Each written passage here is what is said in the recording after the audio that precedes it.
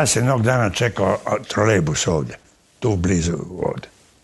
I jedan čovjek, nekakav tip, ali je mlađi čovjek, sa jednom djevojkom, ne vidi on mene. Govori sa jednom djevojkom, ja čujem razgovor.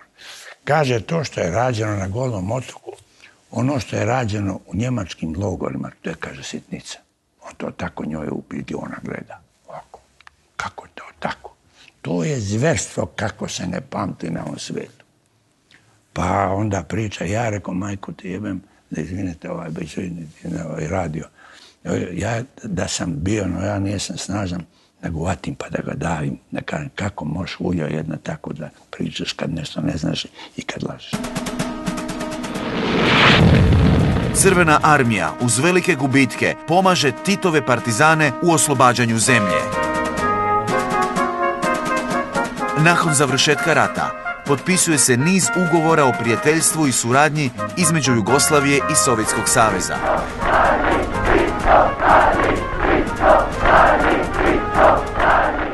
Jedno je Stalin i njegova moć i veliki Sovjetski savez.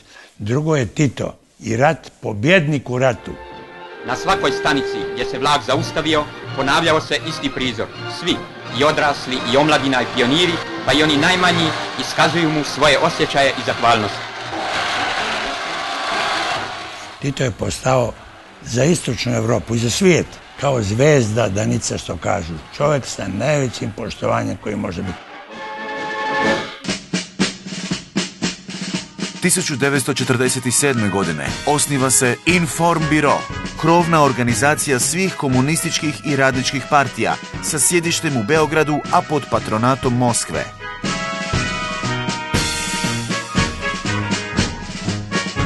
Stalin očekuje od svih komunističkih partija potpunu podređenost. Jer Jugoslavija imala jedan u odnosu na, na Rusiju, imala jedan neću reći demokratski, ali jedan umjeren sistem gdje se je moglo razgovarati. Mi nismo pravili kolektivizaciju da teramo seljake da idu u zadruge. Od četiri prve zadruge iz 1945. godine izrastao je snažan zadružni pokret. 160 seljačkih radnih zadruga u Hrvatskoj sa preko 12.000 zadrugara zbog čega je i došlo do tog sukoba s Sovjetskim savjezom koji je tražio od nas da budemo komunisti. Mi nijesmo ni tu komunističku partiju, mi smo stvorili socijalistički savez. Pored komunističke partije, oni su rekli šta je to, ruinirate komunističku partiju. Počinje zaoštravanje sukoba između Jugoslavije i Sovjetskog saveza. E onda su oni trebali da idu na taj sastanak u Bukureštu, da se to devet komunističkih partija da šibaju Tita, Tito da ćuti tamo ili da drži govor da ga niko ne sluša i ostali stvari, rekao ja neću da idem. Odmah iza toga je došla rezolucija Fonbirova u kojoj se kaže pozivamo Jugoslaviju komunističku partiju Jugoslavije komunističku i narod Jugoslavije da digne, da digne, da sruši režim Titov sluge imperializma. A onda je to rat.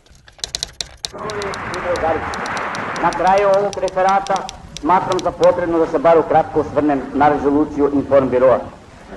Ovo drugo i nije samo napad na naše rukovodstvo partije. Ovo je napad na jedinstvo naše partije. Ovo je napad na krvo stečeno jedinstvo naših naroda. Ovo je poziv svim destruktivnim elementima da ruše sve ono što smo mi na sreću naših naroda gradili do danas. To je poziv na građanski rat u našoj zemlji, poziv na uništenje naše zemlje. Veliki broj članstva ne podržava u potpunosti raskid sa Sovjetskim savezom. Vrh KPU kreće u obračun sa stvarnim ili potencijalnim pristalicama rezolucije Inforbiroa. Mora da pođe od nekih premisa. Ne može isto biti branioc i napadač. Ne može izdajnik i, znate ovaj, oni su izdali zemlju. Pa mi smo mogli da ih pobijemo. Pa ko zna što bi bilo da su Rusi nas napali? O,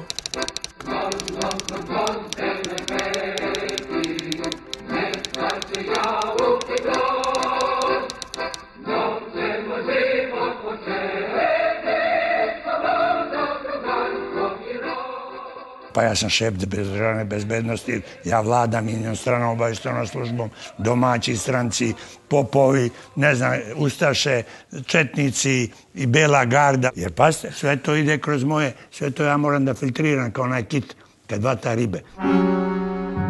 Jugoslavenska tajna policija, UDBA, izvršava najveći dio uhićenja, od kojih je velik broj neselektivnih. Šta mi da radimo? Pazite jednu stvar, mi čekamo rat. Vješ i zdrav izgled boraca, kao i slika moćnog oružja naše armije, izazvali su kod maršala veliko zadovoljstvo. Nije šala bila, mi smo iskopali rove po ovakve mladiće, kao i sve su bili rove s puškama, da čekaju ruske tenkove. Jer se svaki očekao da će Rusi da dođu, ruska propaganda je bila ogromna, naš odgovor još veći, ali osjećalo se u vazduhu smrt. I nećemo nikome dozvoliti da nam dira ili da nam ruje iznutra, da se ruši to bratstvo jedinstvo.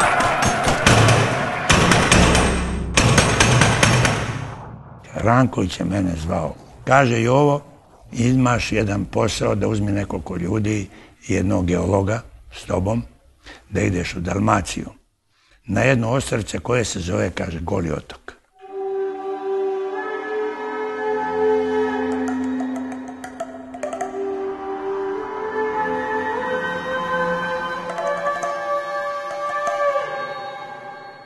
Ja pođem tamo, vidimo jedno ostro golo, stvarno goli otok. Tu nema drveća, nema ništa, neka pelimača i kamenjar.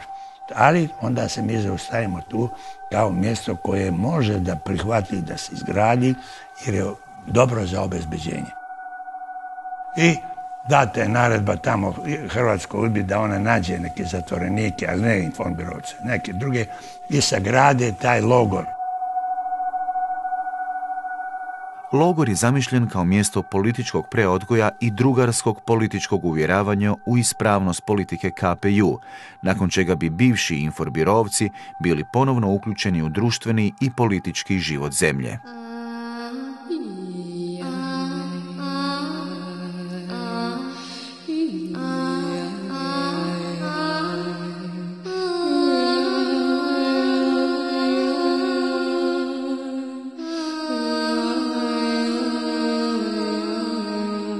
Ja sam došao na ovaj otok kad je na samo otvorenje. To je bio 9. juni 1949.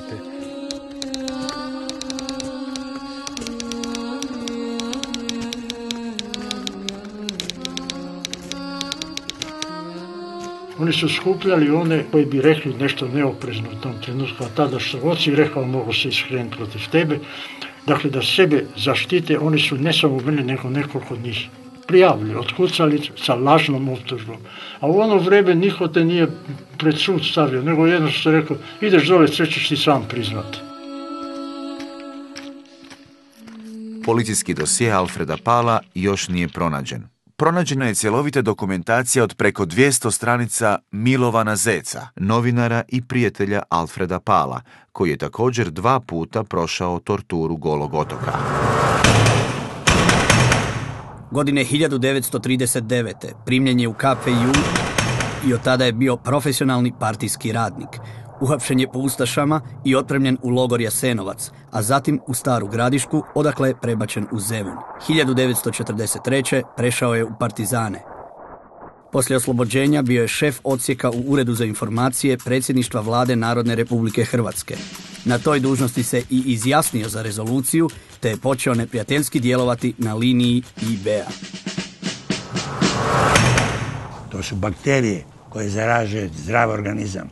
Razumijete, kad dođe neko na selo naše ili neđu gradu i priča o velikoj Rusiji i velikom Staljinu. i traži da mi idemo tamo pod sku Staljina. To je moćna propaganda, nije to priča za malu decu. I onda mi smo gotovi. Bagatelizirao je socijalističku izgradnju te državno i partijsko rukovodstvo. Slušao je radio stanice istočnih zemalja. Zbog ovakove djelatnosti bio je i drugi put hapšen te upućen na društveno koristan rad 24 mjeseca. Hoću tu još da dodam da sam ja još onda živio u jednoj svojoj unutrašnjoj zabludi, naime, verujući da će oni koji se izjasne za rezoluciju moći ipak ostati članovi partije, razume se, pod uslovom da provode iskreno politiku CK KPJ. Sazivanje šestog kongresa palo je u dane 35. Velike oktobarske revolucije. Danas, ovdje, duh oktobra i misao Marksa, Engelsa i Lenina žive i stvaraju u neustrašivoj revolucionarnoj, proletejskoj, plebejskoj ličnosti druga Tita.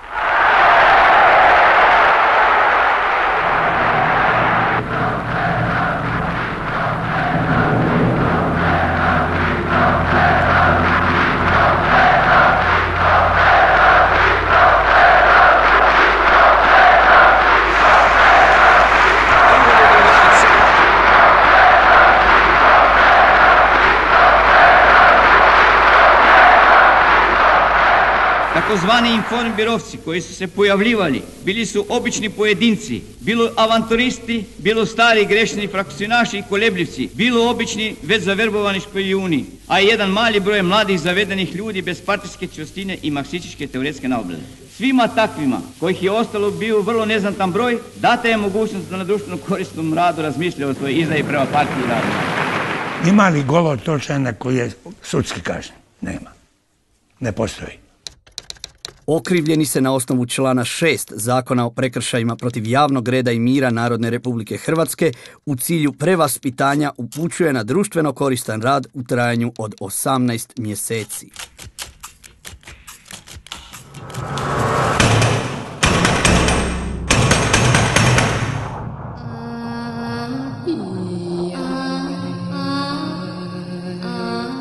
Posle presude, u skupnoj čeliji, bio sam očajan. U ta tri, četiri dana i noći, bez sna, bez apetita, bez bistre svesti, osjetio sam da se ceo jedan svet srušio u meni.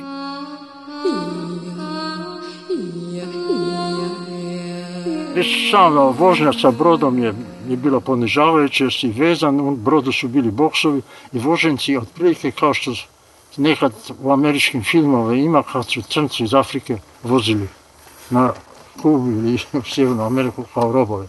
Jer su bili izgrađeni boksovi na tri reda i bilo pola metra razmak, ajde uvuci se ovdje unutra, još ti dobiješ koji udarac i tu ležiš ne znajući kam ćete voziti.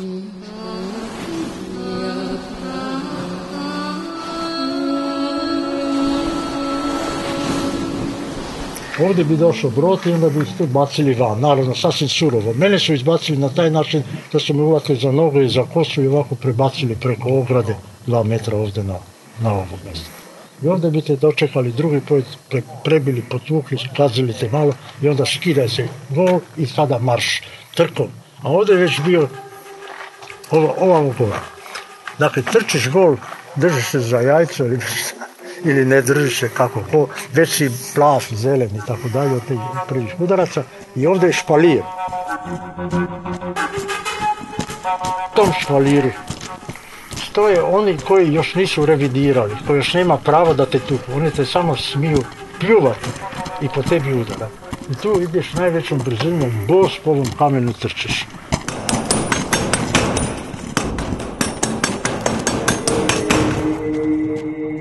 Sad ja ne znajući to, naravno potpuno gol, trčim ovdje gore. Trčim i naravno što brže mogu, što brže mogu. I sad počeo po meni pljuvati po tijelu, u lice. Ali nakon prvih 10-15 tih mojih koraka, ja sam se zadihao. I kako oni pljuju, tako svaki peti, šesti, ako mi pljuju u lice, tačno mi pljuju u usta. Ja tu ništa ne mogu. Međutim, ja vrlo brzo to gutam. jer je to sve taj dan bila prva tekućina. I moja reagiranje je sljedeće. Hvala vam vera, baš vam hvala. To mi omogućuje da ostajem na nogama.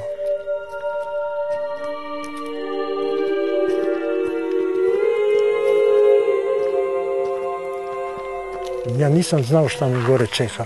Gore me čekalo dve i po tisuće koji su bili poredani ovako kao zmija i koji su, oni su ozbiljno udarali, naravno. I oni, svaki drugi, treći je švindla, on je lupao praznom šakom i tako dalje. Ja sam sve to prošao zahvaljujući tome što sam se nagotao od tuđe pljuvačke. Rekao sam ja njima, kad su smješteni, prva grupacija, i su mene znali, rekao, znate što ljudi, ovdje vas vidi zlo dovelo. Ja sam rekao, vaš drugi prijatelj, borac, a vi ste borci i junaci. A došli ste ovdje.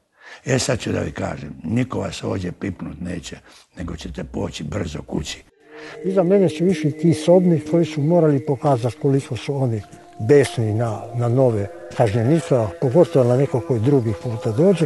Oni su mene digli za noge i za ruke i nosili kroz taj špalir i sad su svi lupali mene po leđima.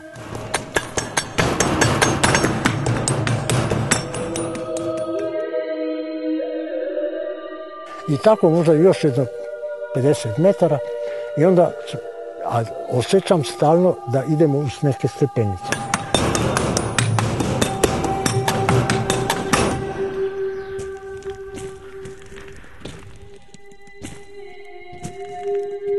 Kad smo došli gore, na, ja ne vidim ništa čude.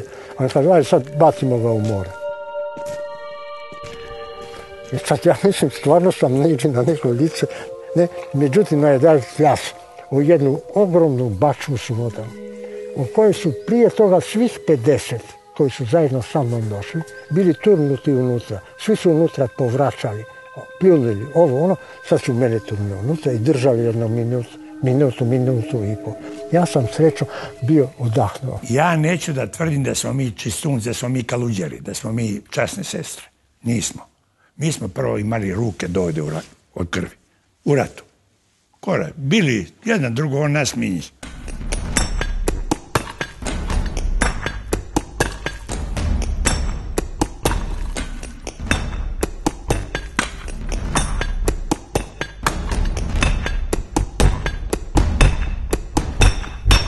Što se tiče samo spavanja, bili su trokatni boksovi, kao što već je u zatvorima i logorima. Kad bili, bili smo prenapučeni i stalno dolazila nova grupa, tako da smo ležali kao sardine u kutiji. Imao si jedno sebe ispod sebe i jedno sebe iznad sebe. Oni koji su došli bili su naravno naivni i naišli su na jednu sredinu koju uopće nisu mogli pretpostaviti. To jest odnos na samom radništvu između kaženika i kaženika je bilo kao među zvijerima u šumi. Čuvaj se, pazi šta radiš, nemoj mu vjerovati. Jako redko si mogao s nekim da razgovaraš uopće. Ili uopće da razmisliš da s njim razgovaraš. A kamo si birao teme?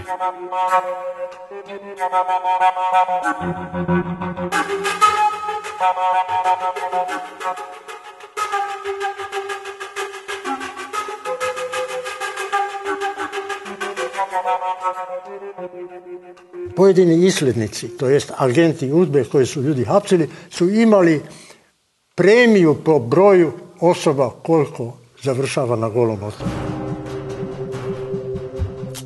Prvi put došao na ovo radilište 7. jula 1949. i otišao sa prvom radnom brigadom.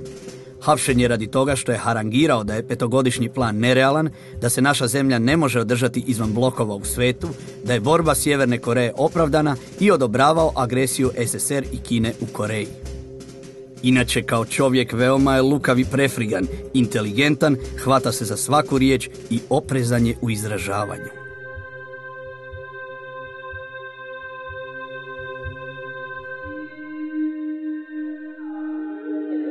Ako me danas neko pita zašto pojma nemam. Slučajno znam, jer je mene otkucao, ja to otvorno kažem, Frani Barbieri je bio agent Ozne, odnosno tadašnje već Udbe, jednostavno je organizirao ibiosku grupu s time da one novinare koji bi ešto rekli, da bi ih privukli s tim da svaki od njih je trebao dalje naći dvojicu. Tako je goli otok i rastao. U svrhu povezivanja, danas sam u kancelariju našeg zatvora pozvao Milovana Zeca, koji je zavrbovan u poduzeću Mermer. On je odmah reagirao riječima. Ja sam drugodušanu potpisao obavezu, ali ja ne želim i neću raditi sa udbom iz prostog razloga što ja to ne mogu. Jer moj karakter to ne dozvoljava. Znate, bilo je tih e, stvari koje su ružne, ali to je masovno rađeno. Svaka opština imala sve probleme. Ko će hiljad opština da kontroliši centar? Kako bi ja bio čovjek kada bi sutra išao spavati sa kojom ženom, od nje nešto saznao u krevetu i sutra nazvao na telefon organa udbe i to mu prijavio. To ja neću i ne mogu nikako. Cijeli vic je bio u tome da su oni imali određen svoj plan, a to je da pridobiju ljude koji su ovdje uhapsili, udba koja je uhapsila, da jednostavno tajna policija ko tajna policija, hoće da ima suradnike. Ne? I oni su smatrali da se to ovdje može postići. Oni su to i postizali sa jednim vrlo grubim i surovim lomljenjem svakog pojedinca.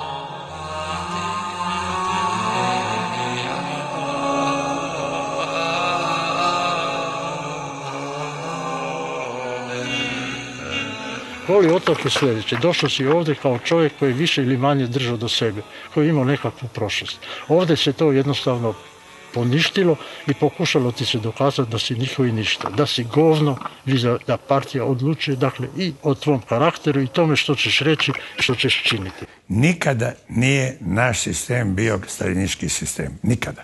Pjesma je bila čuvena pjesma e, e, ko je protiv HPJ ubit ćemo kao Škota.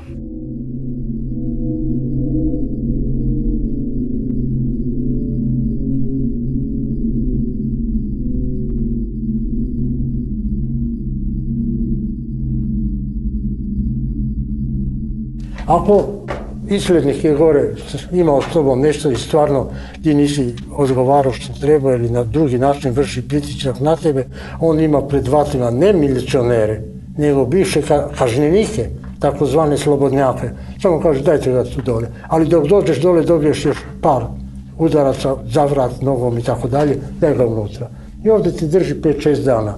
Ovdje svetla nema, jer ovdje je hodnik, s jedne i druge strane su ove samice, prema tome svetlo samo može da bude na ono. Zajedno sa pacovima si ovdje dijeli ono što si dobio za jest.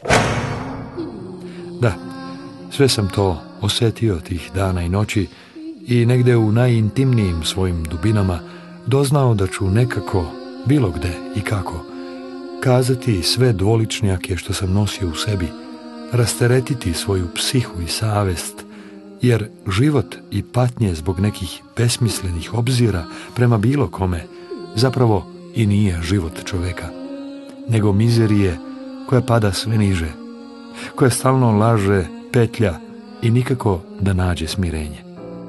Ko je ovdje bio 23 dana kad je izašao van, to su bili drugi ljudi, potpuno slomljeni, u većini slučajeva s njih više nisu htjeli kontaktirati ni razgovarati i tako dalje. Politički nemam ništa zajedničko sa IB-om, ali samo da sam očajan što ponovno moram izdržavati jednu tešku kaznu koju ovaj put neću moći izdržavati, jer su me i bolest i život i apsovi, fizički, psihički i nervno iscedili da sebe već vidim kao bednog, bivšeg čovjeka.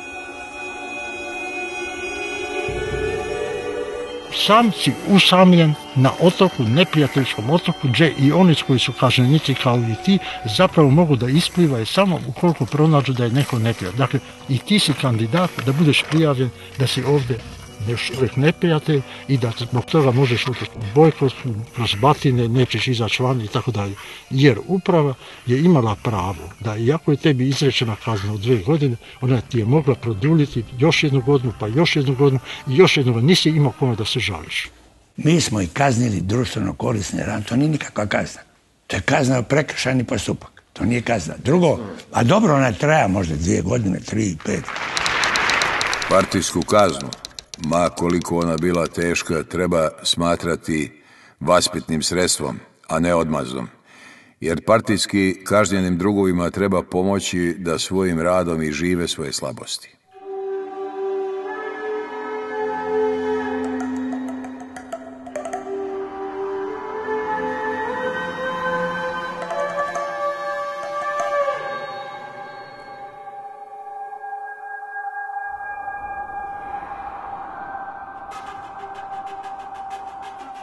Prije izlaska na slobodu, svaki kažnjenik morao je potpisati takozvanu obavezu, koja je podrazumijevala suradnju sudbom na slobodi u praćenju i denunciranju potencijalnih neprijateljskih elemenata.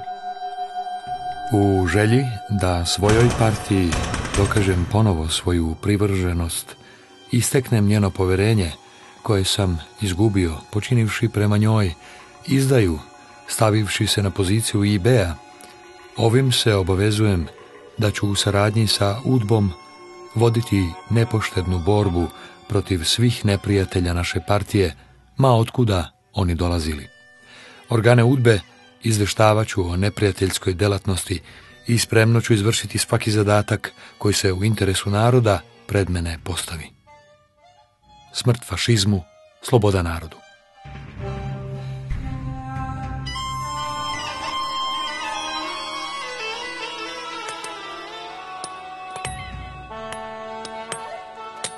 Kamenolom je bio najteži posao koje se mogu zamisliti ako su tako odlučili u Baravci ili tvoj islednik.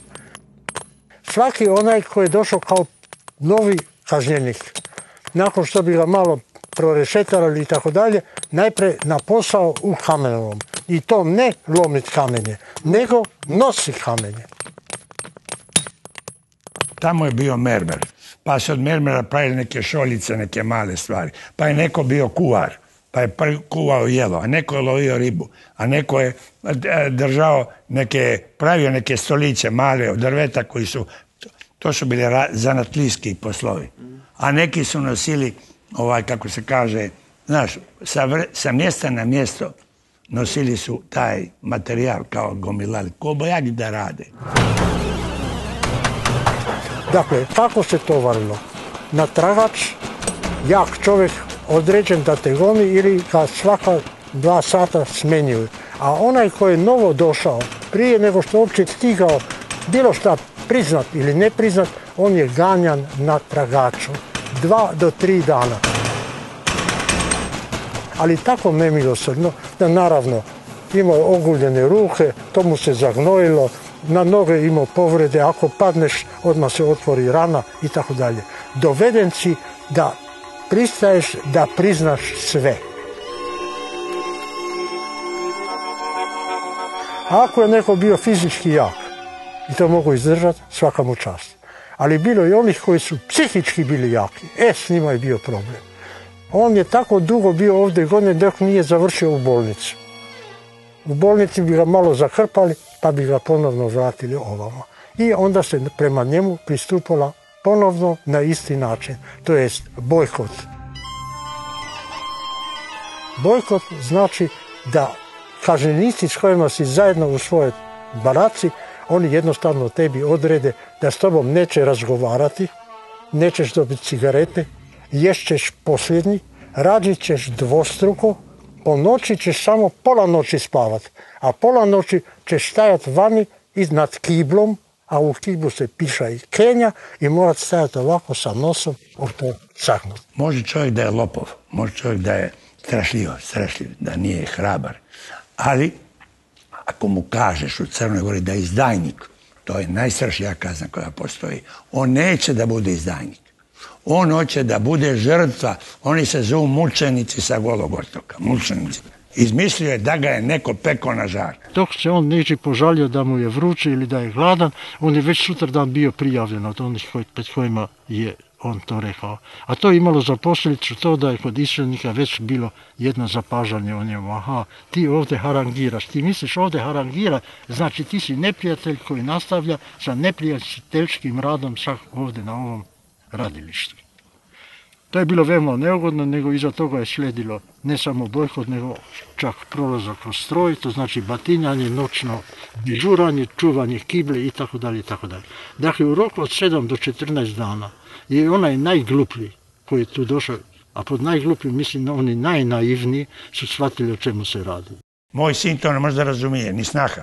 Kaže, ne, ne, vi ste pretjerivali. Pa dobro, jesmo, ajde, jesmo pretjerivali. Mi smo pretjerivali u ratu više nego tu, pa niko to ne pominje.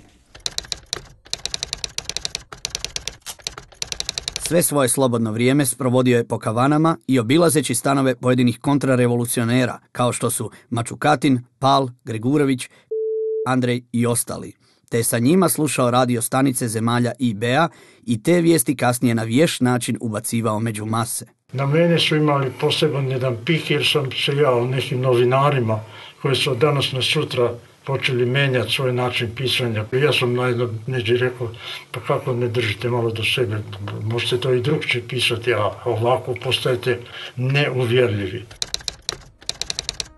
Rad u socijalizmu je čast, ponos svakog pojedinca. Rad daje smisao i sadržaj životu čovjeka.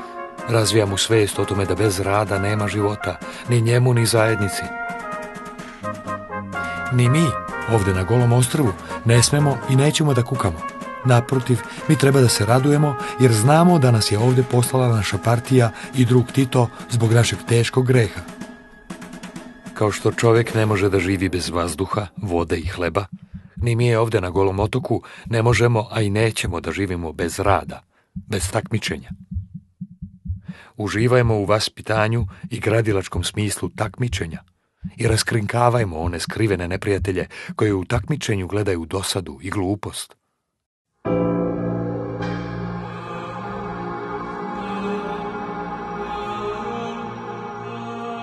Ali ako si pričao viceve, kao što sam ja znao pričati, to je već bilo vrlo opasno, odnosno ne aha, on ovdje na radilištu gdje treba da se preozgoje, on misli, on se ovdje smije i priča viceve. I to, to znači da su od tebe, oni koji su malo držali još ljudskog dostojanca, bježali od tebe, jer kraj tebe je bilo opasno biti, družiti se, razgovarati. A to znači da je već treći prijavio i rekao, on se druži sa ovim. Ja mislim da je ono banda. Jer pazite, u ono vrijeme dovoljno je bilo da kažeš, pa nije trebalo da, da se s Rusima svađamo. Dosta je to. E sad idi tamo pa ćeš tamo da pokažeš. Dovoljno je bila jedna šala. Apsolutno. Apsolutno. To je bila strahovlada u tom smislu, a ne u smislu uništenja ljudi tamo. Nego strahovlada jer se nije se znao s kim imaš posla. Na primjer, sretnem li nekog od pomenutih, oni su gotovo svi bili na ovom radilištu, dočekam ga. O, zdravo! Ej ti tamo! Sagni glavu, ruke na leđa. Kuda gledaš? Platit ćeš već ti za to. Ili idemo na futbal. I neko pita, za koga navijaš? A ja burgijam, za Tita, partiju, narod.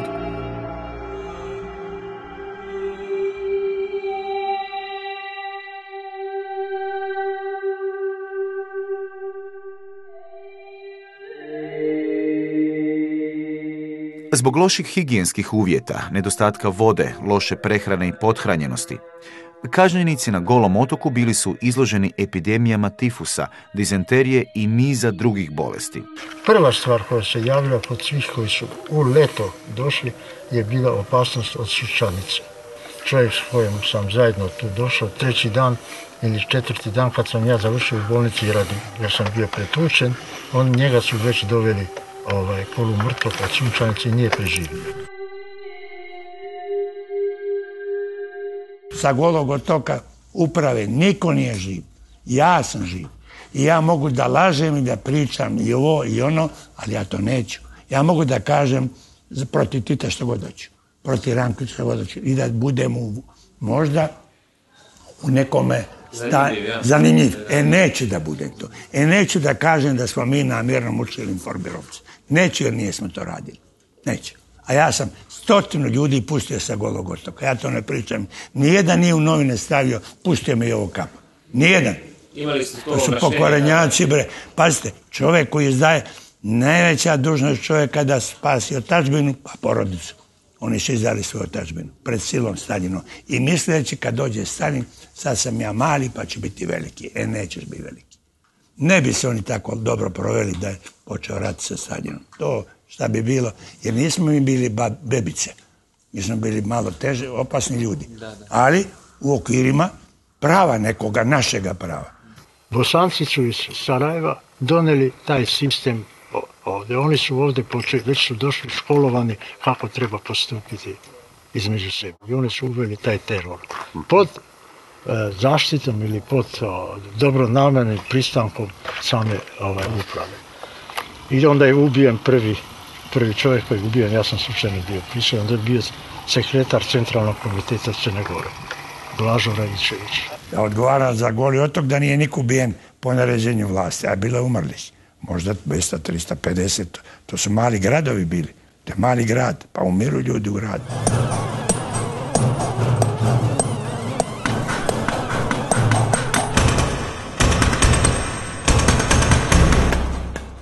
Dva čovjeka su na goli otok, mladić koji je pao s građevine i za kojega se ne zna ili izvršio samoubistvo ili je se kliznuo pa pao na glavu poginuo. Drugi jedan bio čovjek, sad vam kažem. Drugi je čovjek bio crnogorac isto po, po zakonu, mora biti crnogorac, koji je uzeo u ime barake. U baraki ima 50 ljudi, recimo 40-50 spratovi i tako dalje. Pošao kod upravnika, dogovorili se o baraka da se izjasni on kod upravnika da će da se ta baraka opredeli za potpuni status mira, reda i podrške Titu Jugoslaviji i tako dalje. Da bi otišli kući. Kaže u redu, idi tamo, svrši mjesec, potpisujemo svi da ćemo poći. On je došao tamo i razgovarao sa, poslije se ja saznao, nisam bio tamo, razgovarao sa tim Veselinom, upravnikom, popili viski, jedan, dva, tri, napio se malo i vrati se u baraku. I oni svi oko njega, jesi završio posao, ljudi idu kući čovječe. Sa golog otoka imao žene i djecu, ko zna kakve interesi i tako, ništa je normalno. Kaže, kao da ja s njima završim, to je ološ jedna.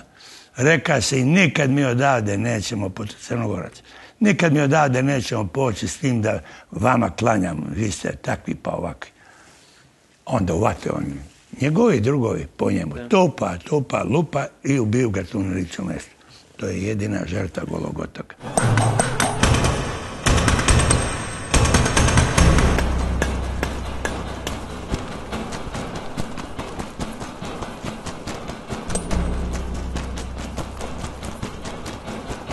Dakle, već prvih dana kad sam ovdje bio, sam vidio kako se ovdje umire. Um, kako se umire. Jednostavno, ako je neko umro, zamotaš gol, golca zamotaš ga u, u ovaj, jedno čebe, sa žicom bušiš čebi gore, napraviš čvori kod nogu i onda se čeka noć da ga se kroz cijeli ovaj logor pronese po noći da se ne bi vidjelo da je neko umro i tako dalje. Dakle, prema ovim. Ali falio je, mi nismo znali kod su došli. Ali da je vlast naređena da se neko bije, to je laž kakva. Samo može da se u, mašti jednog bolesnog robijaša i, kod, i petokolonaša. Zašto treba njima više vjerovatne gudbi?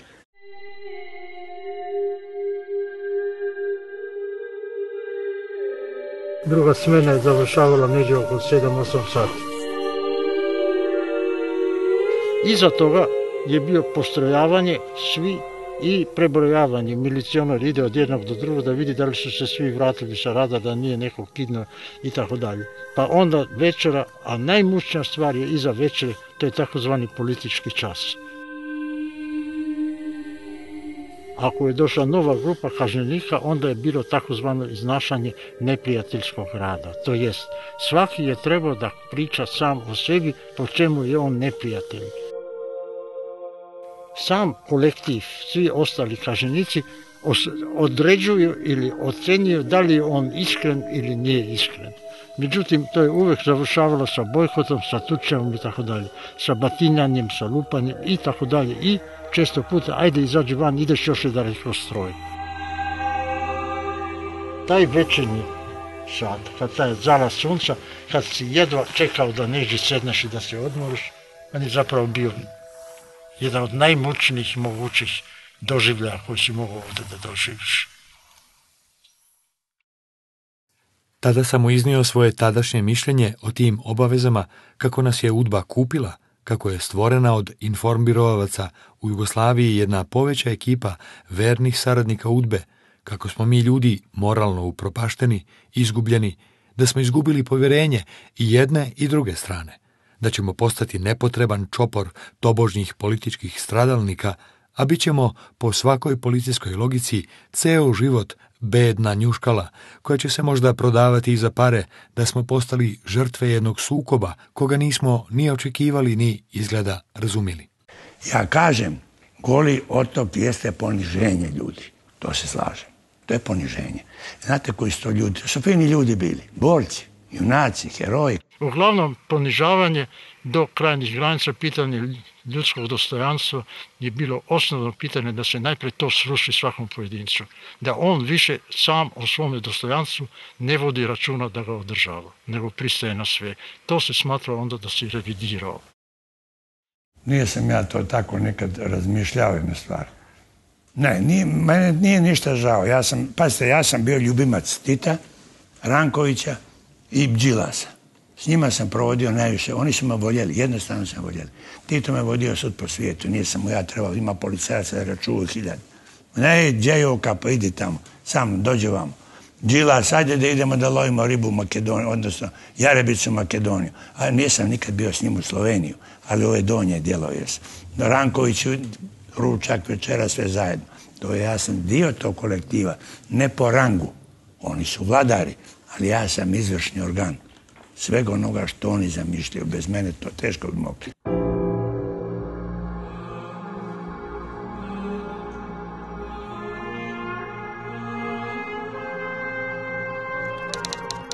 Kod nas se nalazio od 1. augusta 1952. godine, kada je radi bolesti upućen sa radilišta.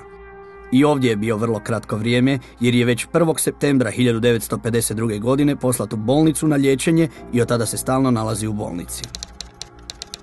Za ovo kraće vrijeme kako je bio kod nas bio je više pasivan i nije pokazao neke naročite aktivnosti u raskrinkavanju neprijateljskih pojava.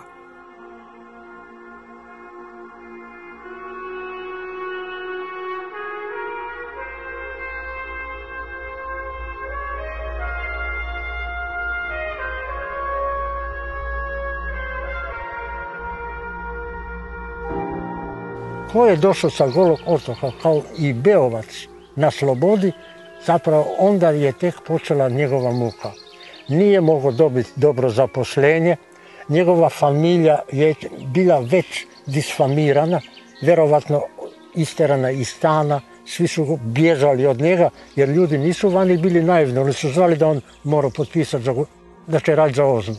Njihovi prijatelji su izbjegavali koliko god mogu. Ja kad sam išao ulicom, idu moji prijatelji iz redakcije, oni brzo prelaze na drugu stranu ulice.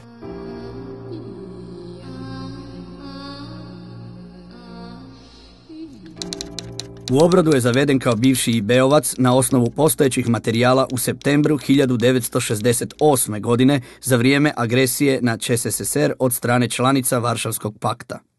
U vremenskom periodu od septembra mjeseca 1968. do sada, prateći njegovo političko ponašanje, nije uočena njegova aktivnost koja bi nas upućivala na njegovu ilegalnu neprijateljsku djelatnost prema postojećem društvenom uređenju u SFRJ. Njegovo zdravstveno stanje ne zadovoljava, tako da se bavi problemima svog liječenja, dok politička zbivanja oko sebe pasivno posmatra. Materijal se odlaže u pasivnu evidenciju. Neko je uspio, većina nije uspjela ovi koji nisu uspjeli, koji su zaista činili sve ono čega su kasnije do te mjere stidili, da nikad progovorili nisu. Oni su isto tako žrtve kao i oni koji smo izdržavali i batine i, i bojkot i tako dalje. Zašto? Oni su mnogo teže žrtve jer za njih goli otok je trajao do njihove smrti.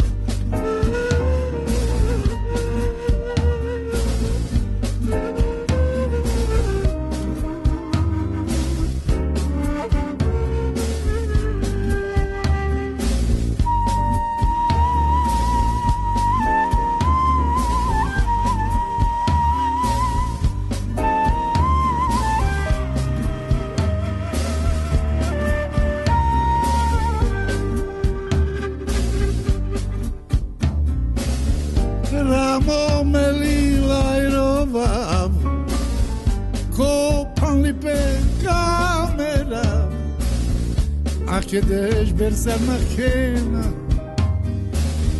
من که روانی مکن رام و ملیل ایروبا کوکا پدون کامرا اخ که درش برسر مکن من که روانی مکن بیگین داله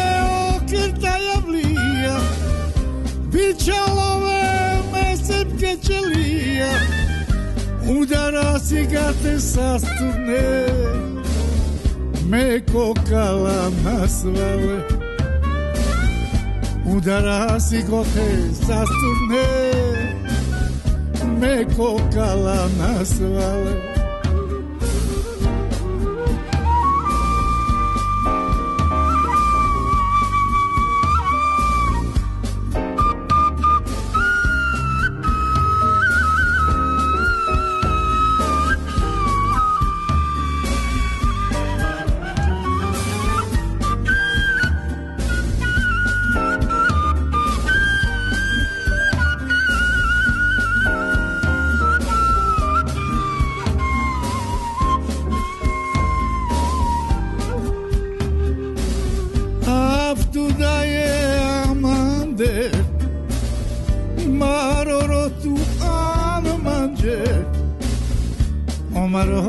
Omaro si ka tesoralo Te dandare kaštuno Aftu da je amande Maroro tu anmanje Omaro si ka tesoralo Te dandare kaštuno Bikin da je tarka da očeja Bićalove mesepke čelija Udara se ga te sastrne Me kokala naselale Udara ga te sasturne Me kokala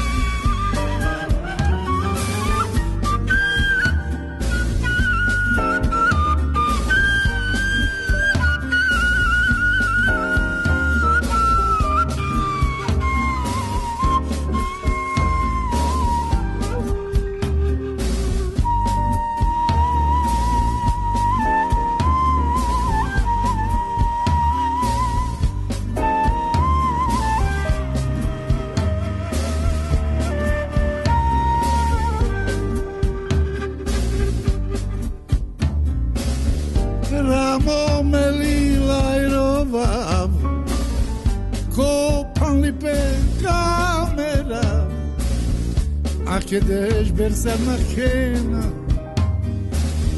من که روانی مکم رامو ملیل ایرووا کوکا پدون کامرا اکی درش برسر نکم من که روانی مکم بیکین Bićalove mesepke čelija Udara se ga te sastrne Me kokala naselale Udara si ga te sasturne Me kokala nasvale Udara si ga te sasturne Me kokala nasvale